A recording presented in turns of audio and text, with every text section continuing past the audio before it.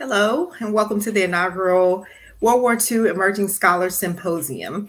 I'm Joy Murphy, the Education Specialist for the Eisenhower Presidential Library and Museum. Today, we, or we are pleased to have the Eisenhower, Roosevelt, and Truman Libraries work together in creating this platform for new scholars. Today, we are thrilled to introduce Kendall Cosley. She is going to speak with us about how D-Day shaped G.I. Joe. Hi, good morning. Um, I want to start by thanking the Eisenhower, Truman, and FDR libraries, as well as Joy, for putting on this program. It's really wonderful for emerging scholars to have a platform to present their work. And I'm very excited today to present a portion of my dissertation to you. My dissertation looks at the GI subculture in World War II and the creation of the iconic GI Joe image. And today I'll just be talking about how D Day shaped the G.I. Joe image into its lasting, iconic liberator image. So, to begin, when one thinks of D Day, some of the images that immediately pop into your mind is the soldiers that are kind of hunched down in the landing crafts with their packs and all their gear, and they're huddled with their buddies. They're getting sprayed with water, and some are sitting in silence some are getting very seasick, others are praying, and some are using humor to kind of pass the time. And then the next image that usually comes across is when the ramp to the landing craft comes down and the soldiers start to disembark and they're slogging their way through the water. They're dodging the machine gun fire coming from the beach and the snipers. And it's the struggle to get up on the beachhead to take out the machine gun nest and hopefully to secure the beaches and move forward into France. So these are some of these very iconic details and images that come to our mind when we first hear the term D-Day. And the reason why we have such vivid imagery and details of the soldiers from this event is in large part due to the war correspondents who were there, who either witnessed the action from a distance, or they waited ashore with the troops, or even the reporters who came in the aftermath in D Day plus one, D Day plus two. And they captured the sacrifice and the significance of the D Day invasion. War reporters captured the danger, action, and the perseverance of the heroic G- GIs on their quest to secure the beachheads on D Day. Yet their contributions often go unacknowledged in accounts of the event. My presentation will explore how war correspondents that were accredited to the European theater witnessed the, eff- the efforts of the American troops and aided in the evolution of G.I. Joe throughout World War II. My talk seeks to add their stories back into the narrative of D Day by delving into the process of what it meant to become a war correspondent. And I'll also share some of their experiences and their dispatches from the day of and the aftermath. And most importantly, I'm going to demonstrate how through their contributions, the war correspondents depicted and solidified the iconic image of the tired, dirty, war-hardened GI who persevered in the face of great odds, and he would become the liberator of Europe. Next slide, please. So in order to talk about how D-Day shaped the G.I. Joe image, first I need to lay out what the G.I. Joe looked like prior to D Day. And really, this starts as early as the Selective Service Act of 1940, which created the first peacetime draft. And we have a peacetime army of civilian soldiers. And the press starts covering this very early on, and they're starting to ask who are these soldiers? What are they going to look like? Are they going to fight? And so the soldiers themselves are trying to figure out these questions as well. And as soon as they get to the training camps, they create their own division newspapers. And in these newspapers, they start griping about officers and the monotony of drill, and they complain about housing and the mud and the food. And so the press is starting to realize that these, and, and we're mainly talking about Army enlisted soldiers that are usually just in the infantry, and they're starting to pick up that they're forming kind of a block, that they have very similar gripes and complaints and interests. And there's not really a name to this phenomenon yet, but it will be made when they go to war and they become battle hardened. So when the troops go overseas in 1942, the press follows them. They're embedded with the troops. And this is really where you see the term GI become an actual moniker. So GI stands for government issue. And it's also a way to poke fun at the situation of being a cog in the army machine. And it becomes a very distinct subculture of the enlisted men who don't want to be in a war, but they find themselves in this situation. And it becomes a coping mechanism for them against the harsh realities of some of the officers, of the poor conditions, of having to fight in battle. And it's really the war correspondents who pick up on this subculture that the soldiers create, and they're the ones that give it a face and a name. So you see here, there were cartoonists like Dave Breger and his cartoon G.I. Joe. He was the one that coined the term G.I. Joe. And it also ran as Private Breger as well. And this cartoon really depicts the GI as this civilian who's not made for army life. He can't really hack it. He's kind of fumbling through. And it's a way to just poke fun of their situation. That this is not their profession, but here they are. And George Baker, who drew the cartoon Sad Sack for Yank magazine, his character is very similar to G.I. Joe. It's still this fumbling citizen that is trying to figure out his place in the army. And then you also have Ernie Pyle, who is perhaps one of the most well known war correspondents.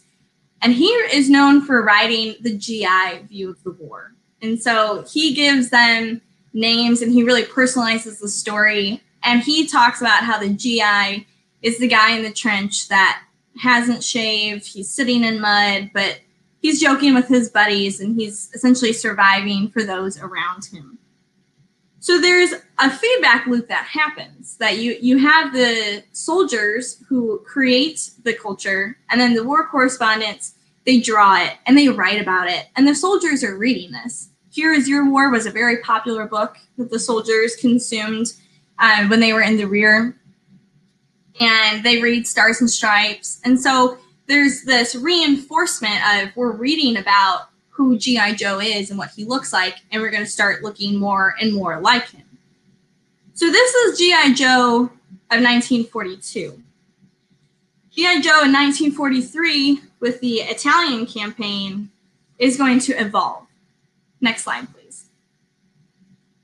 And this is going to be the GI image that will be on the eve of D Day. This is what the American public and the soldiers think of as GI Joe.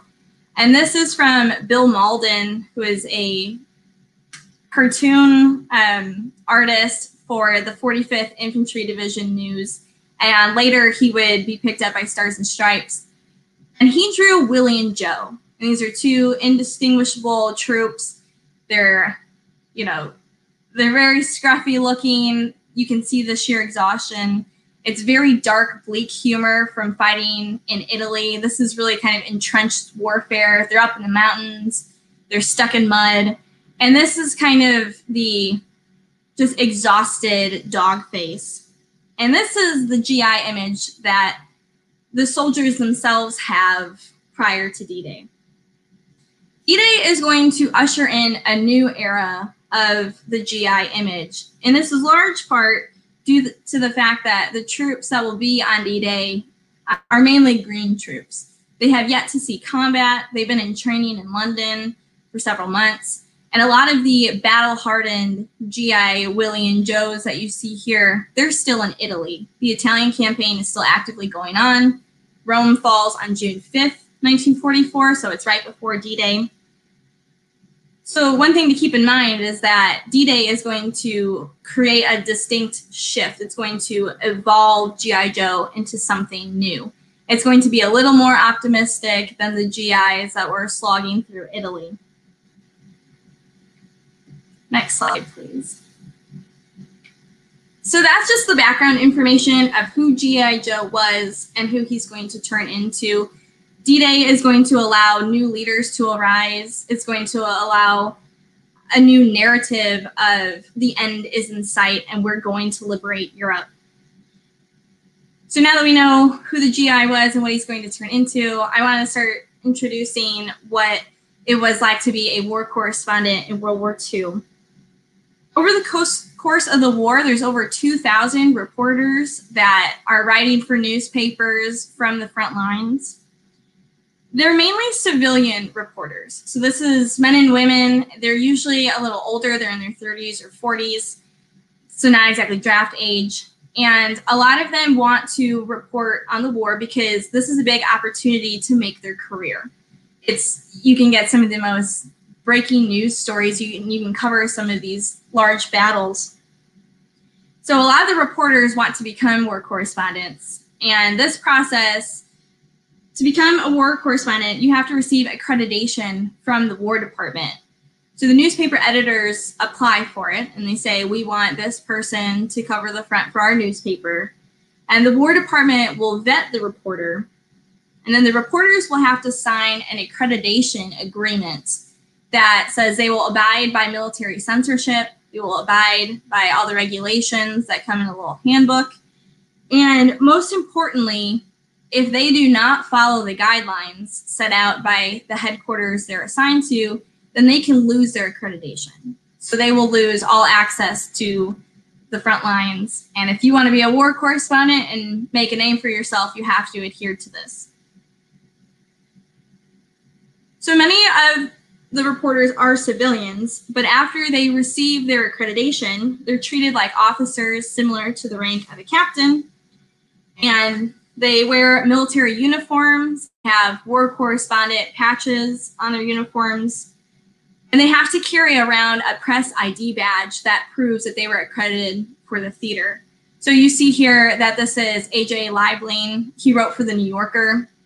He was a war correspondent, and this is his press ID badge saying that he was accredited to the European theater, and that's also the, the patch that he would have worn. Uh, the headquarters were are going to assign the troops to, or sorry, they're going to assign the war correspondents to what units, and they have to follow those troops. A lot of times there's press camps in the rear, but for if they're in active combat, they're going to be with the soldiers in the foxholes and right next to them in the fighting. Next slide, please. This is Andy Rooney's press regulation handbook. Andy Rooney wrote for Stars and Stripes. And this is essentially the Bible that the war correspondents had to follow. It, it, it, was the do's and don'ts of reporting. This is the certain things that you cannot pass through censorship, like troop locations, and if you have any operations.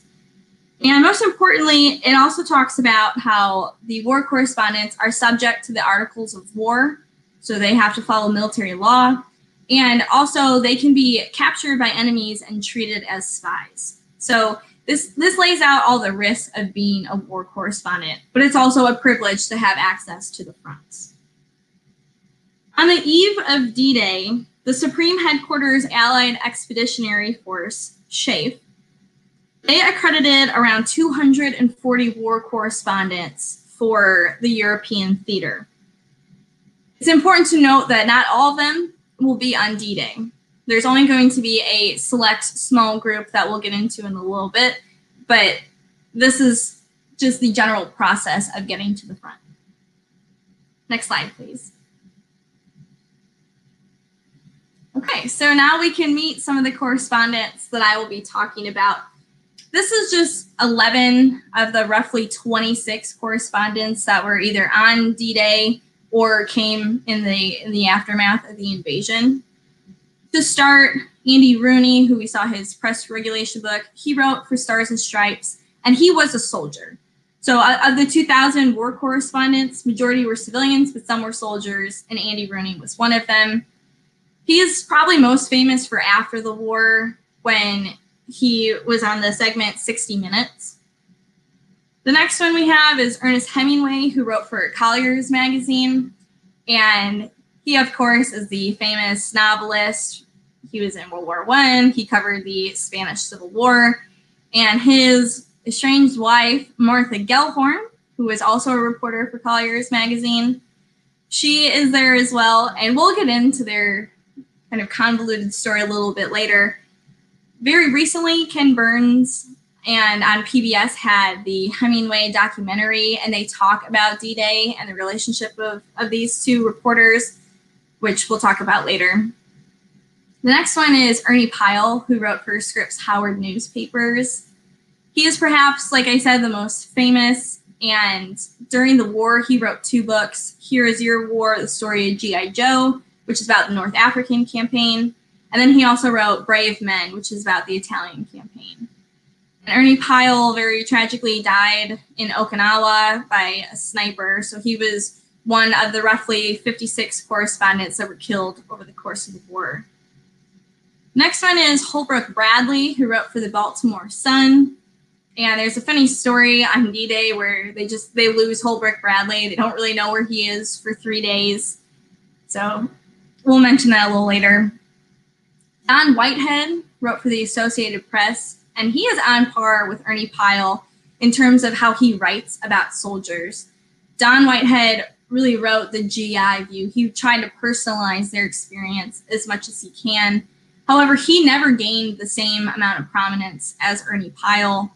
Perhaps it's because he wrote for the Associated Press, and that's not really the type of news reporting they're known for. They're known for those short, quick breaking news clips, and he wrote more human interest pieces He's also known as Beachhead Don, and he has he, he landed at several of the beach invasions. The next one is Tom Treanor, who wrote for Los Angeles Times. And he, like Ernie Pyle, will also be killed during the war. He actually died two months after the D Day invasion. Robert Capa is a very famous photographer, and his photographs were sold to Life magazine we won't be able to really show his photos due to copyright, but he has some of these very iconic images of the GIs in, in their struggle for the beachhead. William Walton wrote for Time magazine. He has some very humorous dispatches, and he would actually go on and work with the JFK administration, and he was a big supporter of the arts. AJ Liebling wrote for the New Yorker. And after the war, he has a very prominent career with the New Yorker and he keeps writing for them. And lastly, we have Kenneth Crawford from Newsweek. And there's not a lot of information on Kenneth Crawford, but he does pop up on the D Day invasion. So these are our 11 reporters that I'll say some of their dispatches and really show how they were the movers and shakers for shaping G.I. Joe at D Day. To get into preparations for the invasion with the war correspondents, part of the Allied planning consisted of tight control of the press. They don't want any information being leaked out since this is a very secret invasion and they don't want to give anything away to the Germans. And SHAEF in late April and early May, they start rearranging the list of accredited reporters and they're trying to figure out who is responsible and trustworthy enough to actually be on D Day. And as the newspaper editors are picking up on the fact that a big invasion is coming, they're trying to get more and more reporters accredited to the theater. But SHAEF in mid May cuts it off and says, This is what we have to work with. And SHAEF, and mainly Dwight D. Eisenhower, who's the Supreme Allied Commander, they really stress the importance of having reporters at the invasion to capture the campaign and to give the American public the most information that they could. In a statement in April of 1944, Eisenhower said that he viewed reporters as quasi staff officers and that they were integral to the mission. Don Whitehead, who wrote for the Associated Press, he mirrored this sentiment and said that the Army really tried to bring the press in as an, an extension of the Army and they wanted them to feel like they were one and the same, that they would look out for them. And from a dispatch aboard an invasion ship on June 3rd, Don Whitehead wrote how a general came up to him and he said, quote, But if an unlucky shell should get you, we'll do all we can. If you're wounded, we'll take care of you. If you're killed, we'll bury you. Meantime, we'll feed you and see you get what you want. So they're treating them akin to the enlisted soldiers that They're seeing it as this is all part of the same struggle. In late May, they start getting the reporters that they want on the beachhead. They start bringing them into London. All the reporters know is that there is a big invasion coming. They're not going to be given much details. They're told that they will get a call or someone will come find them and they'll say, Get your stuff, don't tell anyone where you're going, and meet us at the headquarters. Many of them get the call in early June and they're, they're told to report to duty. However, many of them will sit on transport ships for several days before the actual invasion. And it's in this waiting period that the reporters are starting to understand that this GI is going to be something different. This invasion is ushering in a new phase of the war. And so G.I. Joe, like he evolved before, is going to evolve again. Don Whitehead really captures this in a dispatch that he writes while he was in London on May 15th. Oh, slide, please. And from his dispatch on May 15th, he writes, quote, The day is drawing close when thousands of American youths, some hardened by months of training, some in actual combat, will storm the beaches of Europe in the supreme test of the infantryman in World War II. The hopes of millions rest with G.I. Joe, the guy who will carry the great burden of battle, take the hardest blows of the enemy, endure the greatest hardships. A little later, he says, There will be great shy youths who suddenly step from the crowd to become leaders. Men who never impressed anyone in training will be heroes and fight with a bravery none had suspected. And Joe and his buddies, they will find they have a strong bond between them. They have fought together and seen their friends die, and they have killed Germans together. And he concludes by saying, That's a big job for G.I. Joe, a tough, bloody job, but he's the man who can do it. He did it in North Africa, in Sicily, and on the beaches at Salerno, where the 88s were waiting. It's the long road home and that's really where he wants to be. So, what Don Whitehead is picking up on is that there's a little more optimism to this invasion, that they know, the soldiers know that this is going to be tough, it's going to be uphill fighting. But there's this theme of the long road home, and that they're the only ones that can do it.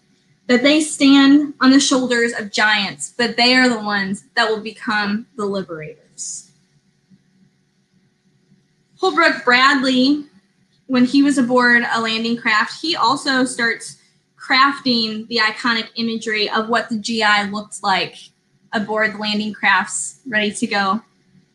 And he said, um, aboard an LST on June 1st, he said, weighed down with packs, bedding rolls, gas masks, ammunition, belts, shovels, canteens, rifles, and pistols, Lines of olive drab helmeted men packed transport ships waiting to cross the English Channel. The men knew by now that this was the real thing. There was an atmosphere of tense anticipation. So, what these two reporters are starting to craft is that this is what the GI looks like, and this is what we're projecting that he is the one that he might be scared on the ship, but he's ready. He's anticipating the long road home. And they're not going to stop until the job is done. Next slide, please. So now we're getting to D-Day. And this is just a map to show you, since I'm mainly talking about the American troops and American correspondents, they land at Utah and Omaha Beach. So this is where the correspondents are. Some that come in on the first day land at Omaha, and some of the correspondents that come in the aftermath of the invasion, they usually land at Utah Beach. To give you some background on the conditions that the war correspondents had to face on D Day, one important aspect is that war correspondents are civilians, so they cannot carry any weapons. So, here, just like the soldiers, they're facing German machine guns and sniper fire, and they can't bring anything with them to protect them. There's a story with Kenneth Crawford from Newsweek when he's in the landing craft and a soldier tries to give him some grenades. And he says, Oh, no, I'm a war correspondent and we can't carry any weapons. And the soldier looked at him like he was insane because you're about to face, uh, you know, a major enemy and you're going in with nothing. So they are at a bit of a disadvantage in protecting themselves, but their main job is to be a, re- a reporter and to capture the story. Another aspect of the invasion is that there's a news blackout.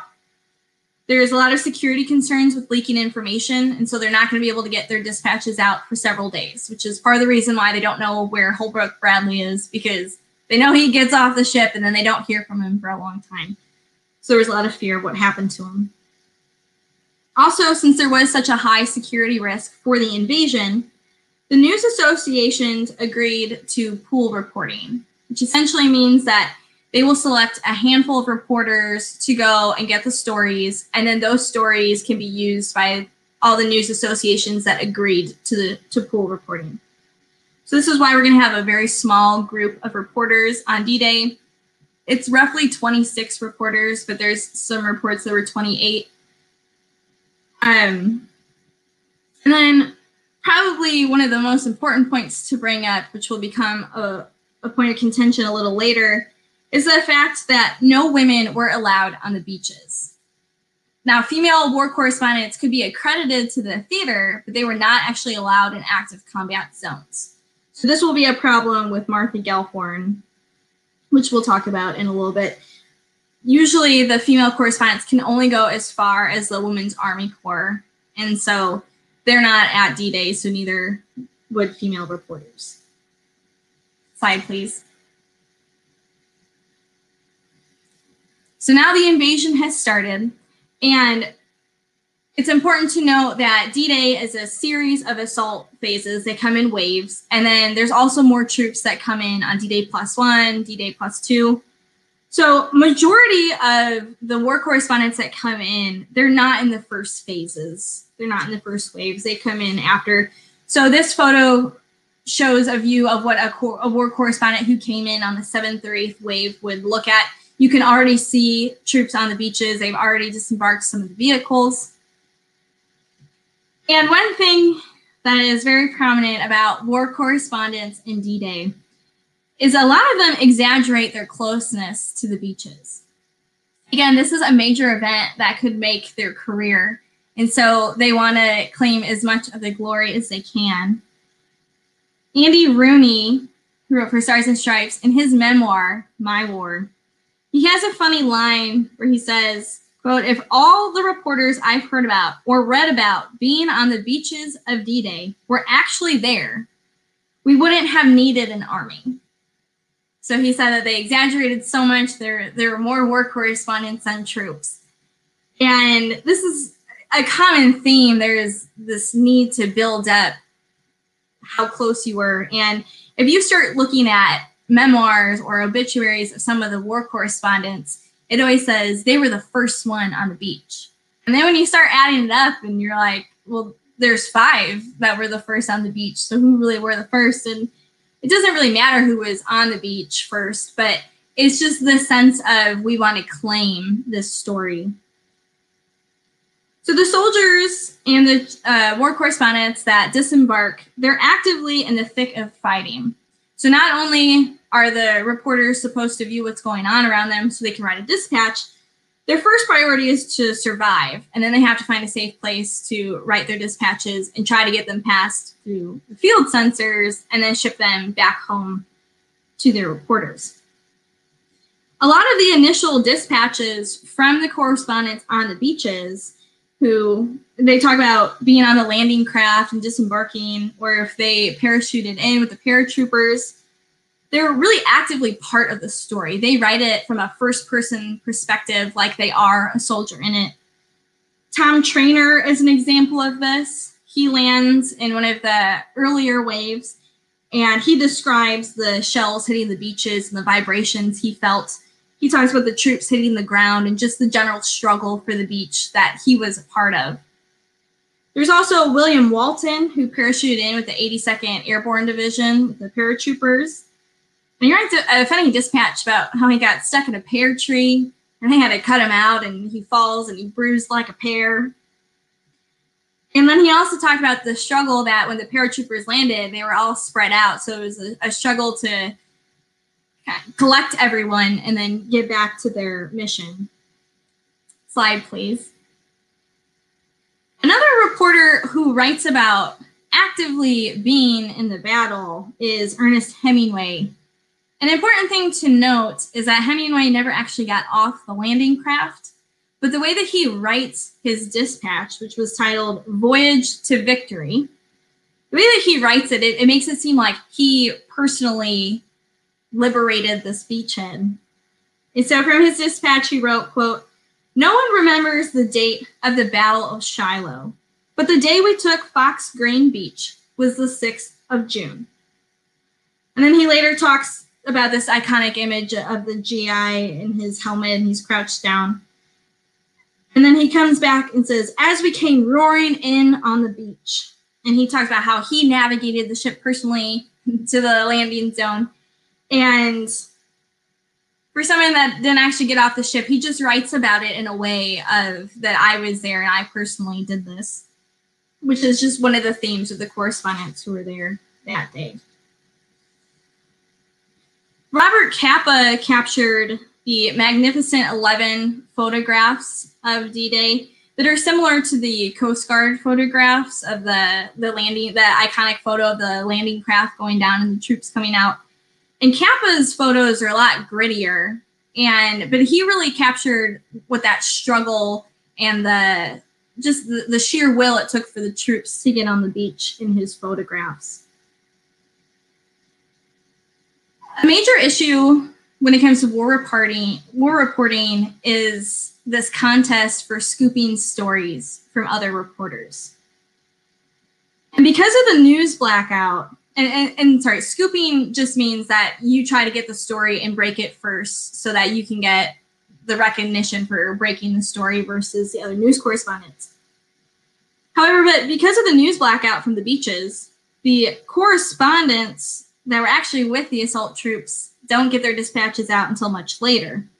Versus those who see it from a distance on the landing crafts, they are able to go back to London and send their reports along the cable, and their stories actually get scooped a little bit from the reporters that are on the beach. However, the ones that are on the beach, their reports are a lot more descriptive. They have more engaging stories. Holbrook Bradley is an example of this, how his story doesn't get out for three days when they finally figure out where he is. But his was a later breaking story. Slide, please. Most of the correspondents who witnessed D Day did so from transport ships or larger landing crafts, hospital ships, or rescue crafts. AJ Liebling from the New Yorker, he's an example of this.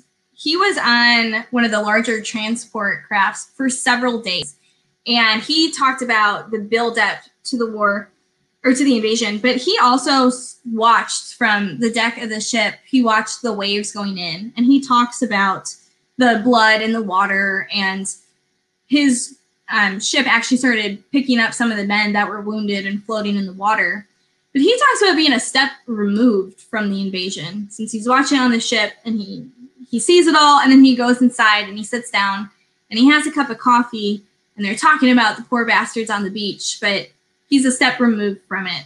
So perhaps it gives him a little more objective view of the overall campaign, but he doesn't have really that personal story with it. Another thing with the correspondents who witness it from a distance is there's a lot of jealousy of those who actually made it onto the beach. Like I've said before, D Day is a major event that could boost someone's career. And so those who couldn't go in are very jealous and there's a lot of competition. And I think Ernest Hemingway and Martha Gellhorn are the prime example of this. Next slide, please. The PBS documentary, the Ken Burns documentary on Hemingway and Martha, they talk about their estranged relationship, how by the time D-Day happens, they're not really on speaking terms. And they're in direct competition on D-Day, and this will essentially break what was left of their relationship. One thing the documentary talked about was that war correspondents were not allowed on the beach, which is not true. We know several of them actually landed with, with the troops.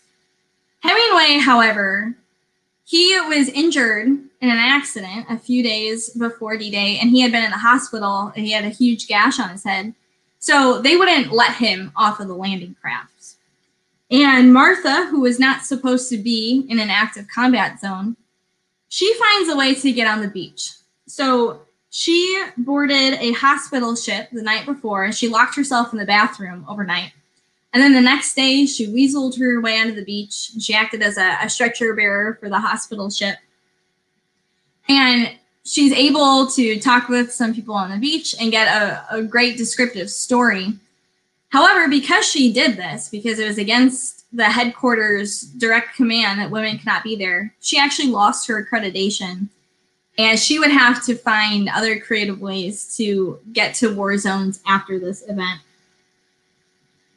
But because she got on the beach and Hemingway didn't, it was the final straw in their relationship. They they go their separate ways because she had scooped the story from him.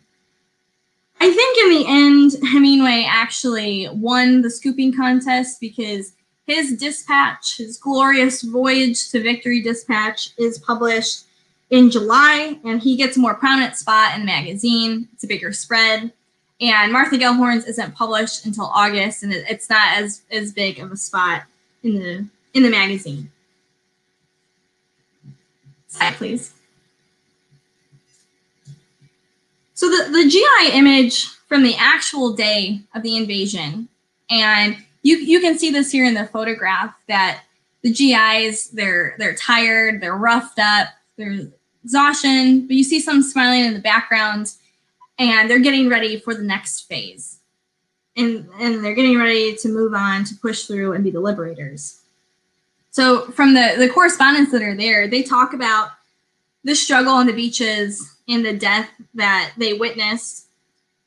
Um, Holbrook Bradley from June 7th, he wrote, quote, those first few hours on the beach must have been living hell. And we saw there had been no discrimination in the way the men fell for the two bars of captains were among the plain uniforms of those of the privates. So they're talking about that th- this was just an immense struggle to get on, and, and it's reflected in how they look. He goes on to talk about the, the grimy, unshaven men that are completely exhausted. Martha Gellhorn, she talks about the humor and the brotherhood of those that survived. She said men who smiled were in such pain that all they can really have wanted to do was turn their heads away and cry. But they made jokes and they're constantly asking where their fellow GIs were. So the soldiers, the, the GI on D Day, though he was anxious, he made it onto the beach out of sheer will. He captured strongholds when it seemed impossible. It was tough fighting, but leaders arose. They persisted and most importantly, they took the first step in liberating Europe. One more aspect of reporting at D Day is that the reporters who arrived on the beaches in the aftermath of the invasion, their one word to describe the invasion was that it was a miracle. Slide, please. And they want the public to know how the GIs moved mountains that day and they sacrificed for the Americans back at home. Ernie Pyle's dispatch, titled A Pure Miracle from June 12th, he really drives home this point of that just in awe that they took the beaches at all and why Americans should really pay attention to this. He wrote, quote, now that it is over, it seems to me a pure miracle that we ever took the beach at all. For some of our units, it was easy, but in this special sector where I am now, our troops faced such odds that our getting ashore was like my whipping Joe Louis down to a pulp. In this column, I want to tell you what the opening of the second front in this one sector entailed, so that you can know and appreciate and forever be humbly grateful to those both dead and alive who did it for you. So he wants the public and the soldiers to understand how what they did was a, a miraculous event. AJ Liebling, he also talked about he made it on shore on D Day plus three. He heard the stories of the soldiers that were pinned down by sniper fire. And a sergeant told him, quote, those infantrymen were like angels, I tell you. I laid there on the beach and I prayed for them while they went up that hill with nothing, with bayonets and hand grenades. They did it with nothing. It was a miracle. Next slide, please. The reporters that came in the aftermath also really highlighted the sacrifice of the GIs and they personalized the stories of those who truly gave all on D Day. And so the photo shows some of the destruction of the beach they would have seen. This part of the this part of the GI image is uh, an aspect that's not always touched on is the, the, the GIs that died in the struggle. And a large part of this is the reporters have to talk about death in sort of a roundabout way. And Ernie Pyle does this so greatly. He talks about the things that were left behind on the beaches that really symbolize the sacrifice of the average Joe who gave all, well, so his buddies could keep moving on so they could finish the job. From his dispatch on June 17th, titled A Long, Thin Line of Personal Anguish, he wrote, Here in a jumbled row for mile on mile are soldiers' packs. Here are socks and shoe polish, sewing kits, diaries, Bibles, and hand grenades. So he talks about all these items. He also said someone had a, a, tennis racket that they brought with them that survived the invasion, but he doesn't know if the owner of it did. And he wraps up his dispatch by saying he sees something sticking out of the sand. Well, they were a soldier's two feet. He was completely covered by the shifting sands except for his feet. The toes of his GI shoes pointed toward the land he had come so far to see and which he saw so briefly. This theme of the GI boots really hits on the GI subculture of being an anonymous cog in the machine, that these boots could have been on any one of them. They're interchangeable. And Andy Rooney also talks about the motif of the GI boots. He said, quote, when I came in, row on row of dead American soldiers were laid out on the sand just above the high tide mark where the beach turned into weedy clumps of grass. They were covered with olive drab blankets, just their feet sticking out at the bottom, their GI boots sticking out. I remember their boots, all the same on such different boys. So part of the GI Joe image too is the GIs that fell for the invasion, and that they, it's one in a sea of many of them, but they did their part so that their fellow GIs can go on and finish the job. Next slide, please. So for my concluding remarks, I want to talk about first why the impact of the reporters had an immediate effect on shaping the GI image. So there's a feedback loop that as soon as the reporters get on the beaches, they create press camps to get their dispatches out and Stars and Stripes actually set up their own newspaper building essentially. And they start pumping out the Stars and Stripes newspapers for the troops. And the troops are seeing very quickly the writings about what they look like on D Day and, and how they're going to act now through the rest of this push through France. So there's an immediate feedback loop there that's solidifying this liberator G.I. Joe. And D Day was the formative event in shaping this new evolution of the GI into the Liberator. But it was in large part the reporters who documented the action and they captured the struggle and sacrifice, the endurance and the victory of the soldiers on the beaches. Yet they're often left out of the story and their own experiences aren't told, even though they volunteered and they also risked their lives for the invasion. Their writings solidified the G.I. Joe imagery of the title of the tired, battle-hardened soldier who was scruffy and griped about poor conditions, but fought for his buddy next to him and sustained himself through the humor all the way to victory. This GI the one who took the beaches was the one who would liberate France, Germany, the concentration camps, and liberate Europe from the Nazi reign. Thank you.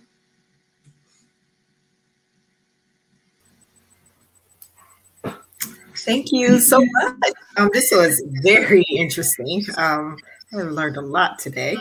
This is my favorite part of the symposium, so thank you.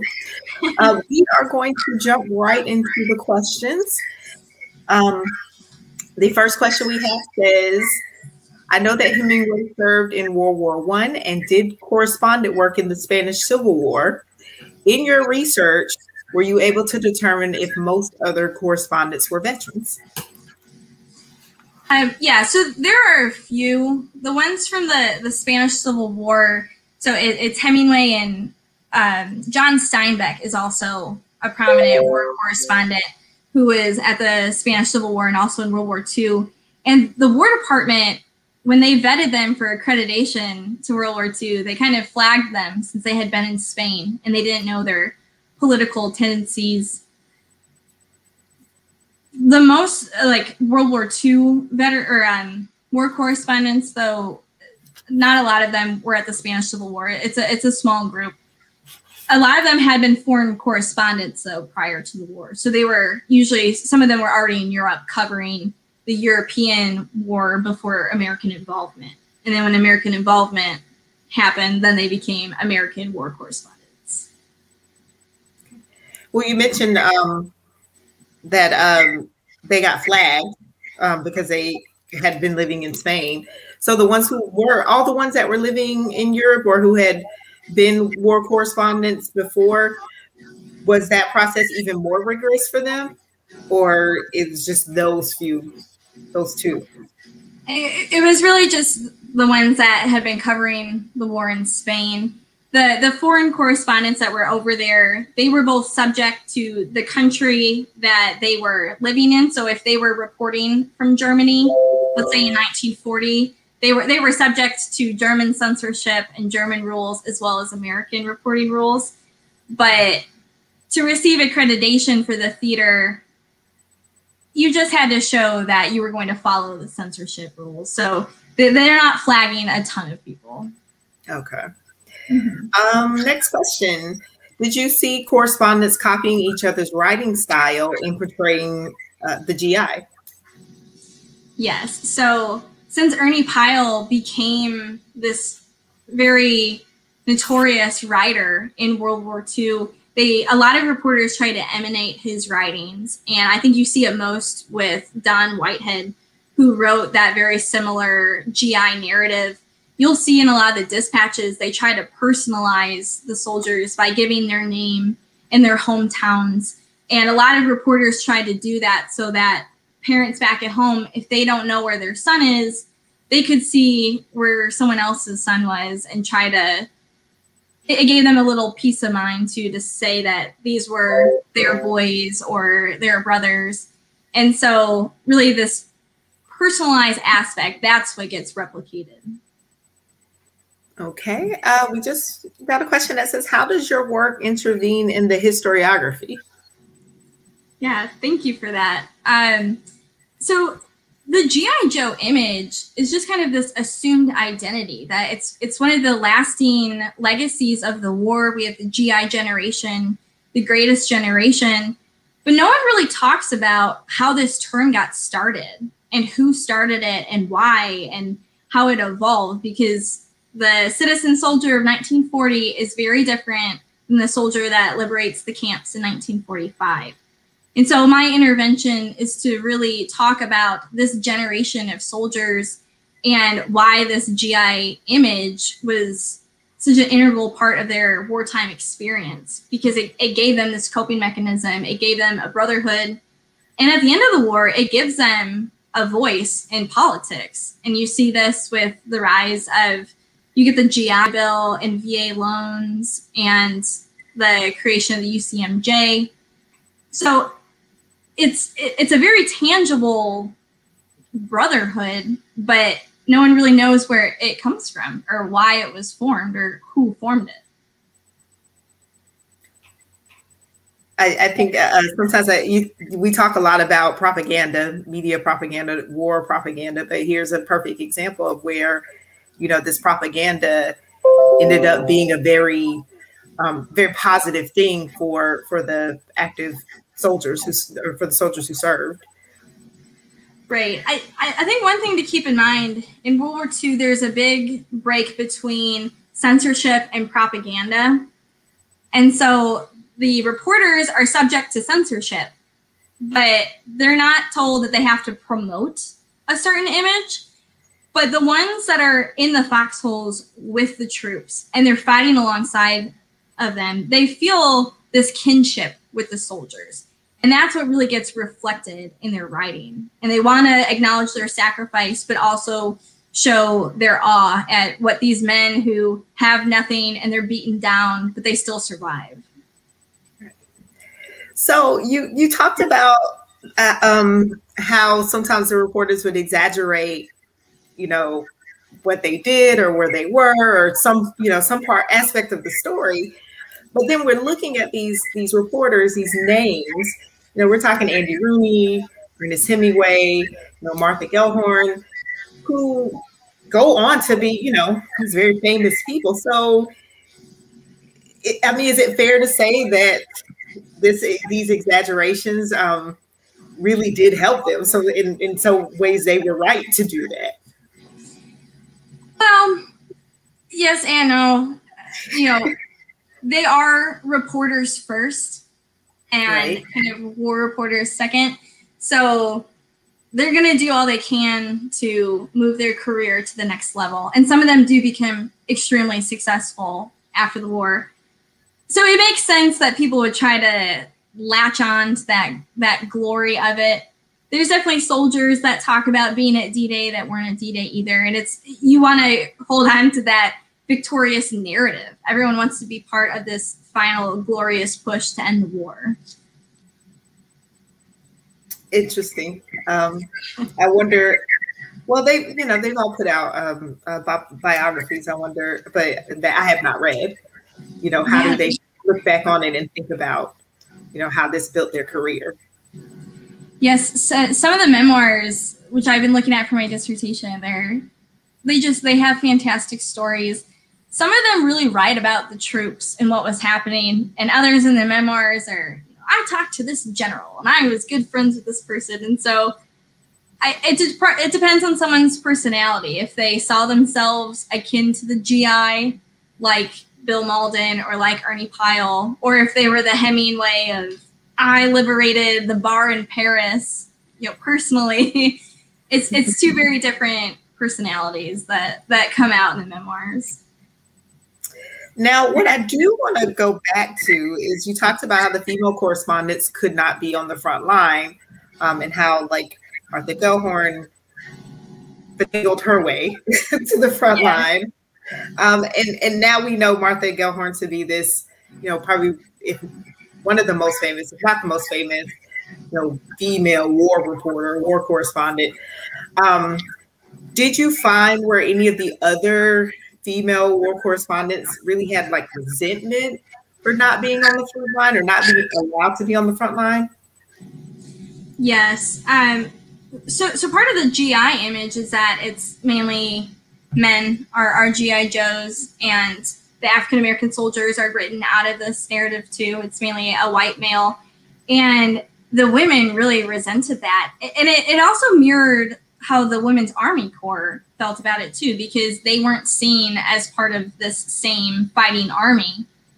And that's what the journalists, the female journalists, pick up on as well. So they feel a little more akin to the WACs and the African American reporters also feel that too because they're covering the black troops, which is, and they're doing that for like the Baltimore Afro American and the Pittsburgh Courier.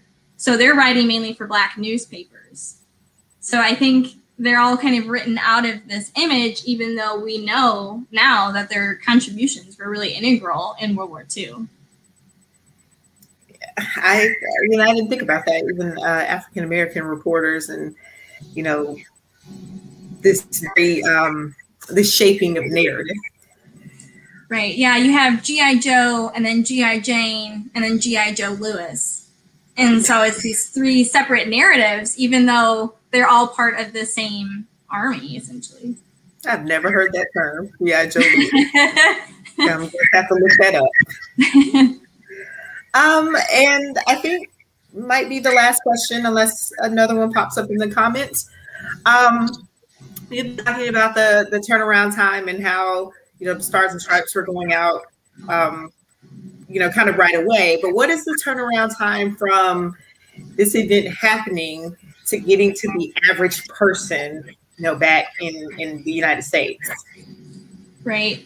Um, so if a reporter can get to a telephone, they can quickly call New York and tell their story along the line, and New York can get that out the same day. If you're on the beaches and you know you have to wait for a military censor to go through your dispatch, then you have to find some way to get the story out. That'll be delayed by several days. But when we think of news today and how it's instantaneous, it was still pretty quick for the 1940s because you're still finding out about it. There's newspapers, you know, June 7th that talked all about what happened on June 6th already. And there's some even, if you had like a, a nightly edition, that they would have talked about it right away as well. Wow.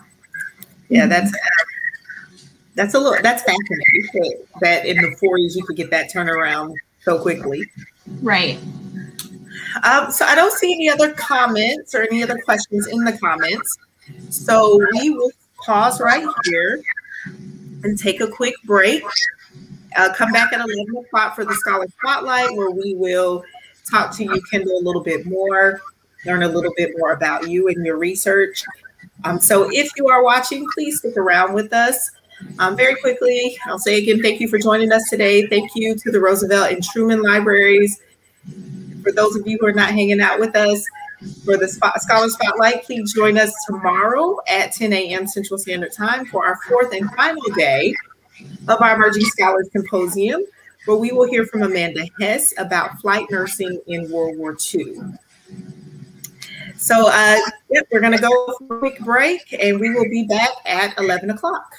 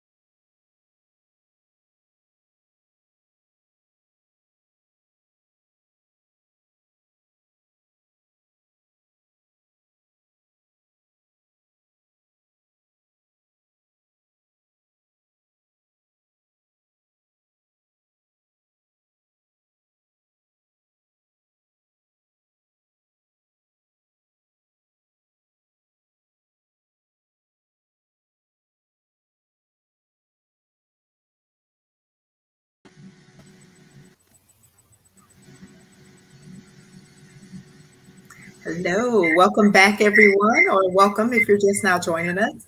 We are here with Kendall Cosley, who just did a, a fantastic and very interesting presentation of telling us all about World War II correspondence. So now this is our scholar spotlight. We are going to ask Kendall a little, a few questions to get to know her just a little bit better. So thank you again, Kendall. That was very, very interesting. Thank you. It's, it's, a lot of fun to talk about my dissertation. um, and I bet, you know, that's one of the things that we uh, really like about this symposium, you know, is it's giving new scholars like yourself or emerging scholars like yourself the opportunity to um, kind of dig in and talk about your, your, your work. That doesn't happen as, as often as, you know, sometimes we would like to, for it to happen. Mm-hmm. So we will jump right in and um, ask you the first question, which is uh, what drew you to your topic? Sure. So when I was in undergrad, I worked at the Marquette University Archives, and I was in charge of digitizing a collection on a foreign correspondent who worked for the Associated Press, and he was in Berlin from 1937 to 1942 and he, his collection contained letters and his own personal photographs as well as some associated press photographs. And most importantly it had the copies the the, the drafts of his news stories. And you could see how he was editing and reshaping some of his words. And it really got me thinking of how correspondence shaped narratives of the events that we were reading. And you know, there's the phrase that journalists write the first draft of history, and a lot of what Americans knew about the events at the time came from these reporters that were overseas. So it really got me interested in how they shape narratives and how they write about it. And you know, everything we consume is an interpretation. So I was very curious of, you know, you, you read these letters of him experiencing experiencing these incredible events, and then he writes about it, and it's interesting to see his personal views versus what he's sending back to New York to be published. So that really just like got me interested in, in how you shape narratives. And then I was reading Ernie Pyle's works on the GI and how he was writing and shaping the GI Joe narrative. So that's kind of how how the two came together of war correspondence and this GI image the quote you said was reporters write the first draft of history. Is that what you said? Mm-hmm. That's very interesting. I I like that because um, it's very true, right? Um, you know, they're often on the front lines, or you know, they're the first ones to break stories. Um, so yeah, that's that's very true. Um, I don't know though. In, in this day and age, you know, I don't know if it's all as true as it was back then. Yeah, the news from 1940 has, has definitely changed since news today. So there, there's a lot more information floating floating around out there. I think it's a lot easier to, to be on the front lines, and even if you're not a journalist. Mm-hmm. uh, okay, so tell us a little bit about your research methods, your process. Um, Sure. So the bulk of my research rests mainly on the writings of the correspondents. So their actual dispatches. Many of them write memoirs after the war as well. I've also been looking at the newspapers like the Stars and Stripes, the Yank Army Weekly. There's also the newspapers that the troops produce at the training camps. And so, and I've been looking at these and looking at the cartoons and I initially just started looking at what they say about the GI. And is that a term that they use, or what do they call these soldiers? And it became very evident early on that there was certain themes of how they talk about the enlisted men culture. And then I started seeing the evolution of it's just this group of draftees, and then it becomes more solid over time.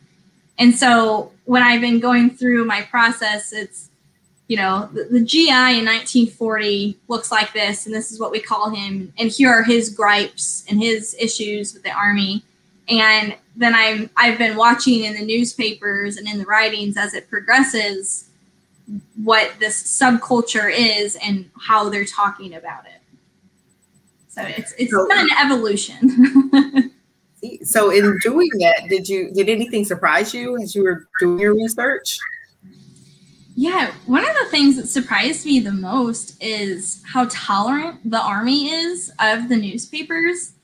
And this is when I get back to the point of they're not necessarily promoting propaganda because they write about the officers that they don't like. And they have columns and stars and stripes called um, B bag, which is blow it out here. And they can, you know, gripe about what this second lieutenant made them did and they're very open with the fact that you can gripe about the army, you can have complaints, and which to me was just surprising that the army put up with that.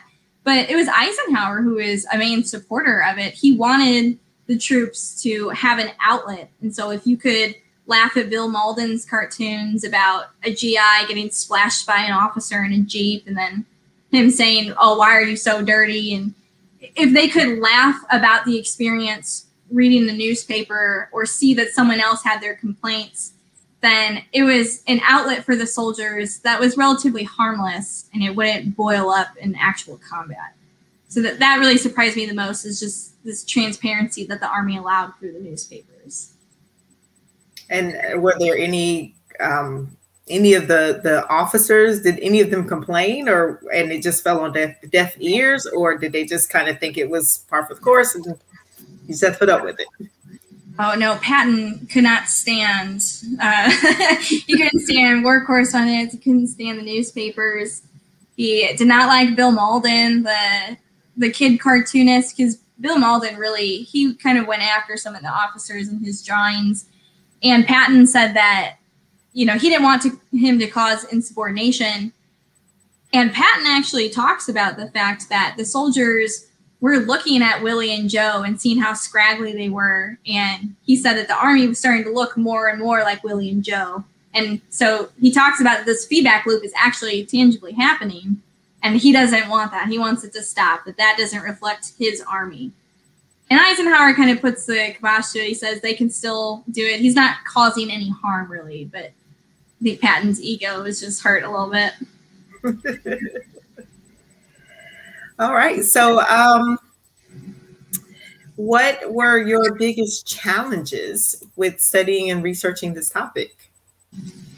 So, the biggest challenge I'm running into right now with kind of this D Day liberator narrative on is that you have the actual GI subculture of what's happening, um, you know, in the front lines and when they're in some of the rear camps. But then there's also the projected GI image. And for the most part, in like 40, 41, 42, 43, the culture and the image are pretty married. It's a direct reflection of what's going on. In 44 with D Day, there seems to be a break because you still have the GI culture of this sex, we're in the mud, it's cold, we're wet, we don't like this officer. But the newspapers, as we just saw, are starting to talk about the Liberator GI. And so there's kind of this breaking. And I'm trying to really figure out kind of why there's this breaking point or how exactly it comes about.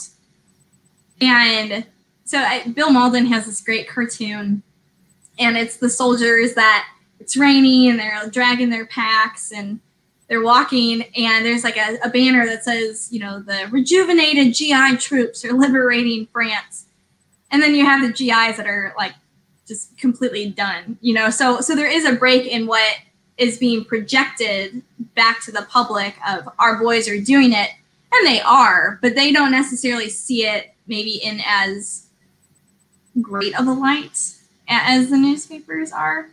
So mm-hmm. I'm trying. This is the balance I'm trying to strike. Okay. Um, are you finding many soldier narratives? Uh, so, like you know their own experiences um, being recorded where you would be able to dig into that or, or is that part of the the struggles? No there's a lot of combatant memoirs especially from d-day. D-day is you know it, it, public consumption of d-day is incredible so there's a lot of that. And i think part of the problem is is that there's this gi liberator narrative and it was a lot for the soldiers to live up to. And I think in their memoirs, there's kind of this fear of that they didn't live up to this greatest generation. They didn't live up to this GI stereotype. Um, which the culture is still there. They're very much part of that culture, but then it's maybe this iconic lasting image that gets really blown up. And over time, it has to, it's still a very iconic thing that we're still talking about. The current Army just brought back the pink and green uniforms that the GIs wore in World War II. So there's still a lot of fascination with this GI image. yeah, it's maybe it's not as big of a deal as I'm making it out to be, but I think there is a slight break, and so I'm just trying to strike that balance. I certainly hope you're able to find that because it would be interesting to um, read about that and hear about that and and, and how that unfolded. Um, so that we'll segue that into what's next for you. What's next with your research? What's next with your education? Whatever. What what is your future looking like? Sure. So I'm a PhD candidate now, so I'm officially in the fun stage of the doctoral process where I'm actually researching and writing my dissertation, which I'm hoping to have done um, in a year or two. I would love to get this published into a book. I think it, it matters to the GI generation and uh, especially to their families too, as a lot of GIs are now starting to pass away. And so we're going to lose this greatest generation. So I would love to get this published and I would love to be able to teach about World War II as well and, and American military history and the press at large. Okay, well, when you get your your, um, your dissertation published, and it's this fantastic book that is well reviewed, of course, we are we would be excited to have you at Eisenhower. Um, can't speak for Truman and FDR, but for over here at Eisenhower, we would love to have you. And you know, we're you know your cheerleaders and your supporters, so we'll be we will be excited thrilled to read about to host you um, when all of that is done. Yeah, thank you. I appreciate that, and thank you for giving me this platform to introduce my dissertation and kind of a public stage and um, I've, I've really had a great time. I've enjoyed it. You're very welcome, and thank you for um, submitting and coming and, and telling us a little bit about what you're working on.